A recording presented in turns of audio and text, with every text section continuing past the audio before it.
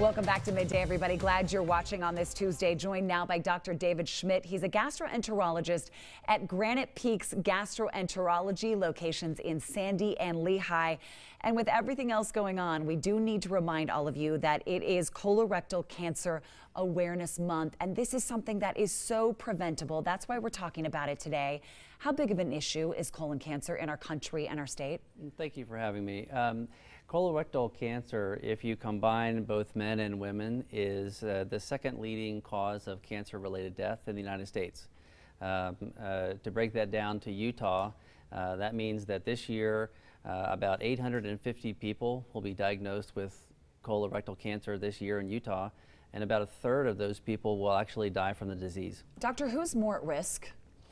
Well, um, uh, people who have a family history of colon cancer are at risk. People who have chronic inflammatory bowel disease are also at risk. Um, but uh, that being said, most people who are diagnosed with colon cancer have no extra risk factors. So, what age? I know there are new guidelines out there that came out in 2018. What age should you start being tested? That's a good question, and there's some debate about this. Uh, in 2018, the American Cancer Society uh, released updated guidelines uh, with a qualified recommendation to begin screening average risk people at age 45. Uh, this is for average risk without a family history or a personal history that would put them at increased risk. Uh, most gastrointestinal societies still follow uh, age 50 screening. Uh, but there again is some debate about that. All right, so let's talk about the screening. this is I don't know why this is so hard for people or scary for them to try or talk about. What are you hearing from patients? Well, I think the most challenging thing is the the day before you know, the preparation. Uh, people are nervous about what that's going to be, and the, the, the, laxative that we uh, give people tastes bad, and obviously it has a result that nobody likes. Uh, but the procedure itself is actually very easy.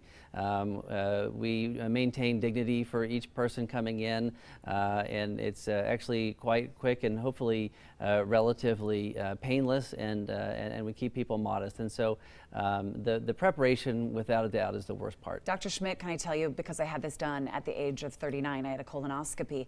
The prep has changed. It is getting better every single year, and the procedure itself is no thing. Yes, right. I would agree with you. The, the, the preps that we focus on now are called low volume preps.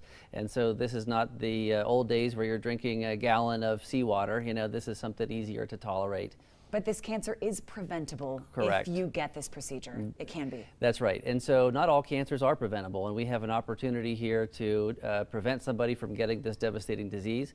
Uh, the ways of preventing are with uh, a yearly fecal uh, uh, blood test or stool test uh, and a colonoscopy uh, every 10 years if you're average risk. Dr. David Schmidt's a gastroenterologist, everybody, at Granite Peaks Gastroenterology. If you need more information, again, they have locations in Sandy and Lehi, uh, or you can also go to cancer.org for more info. Go to abc4.com slash midday, and we will link you. Thank you so much. Thank you.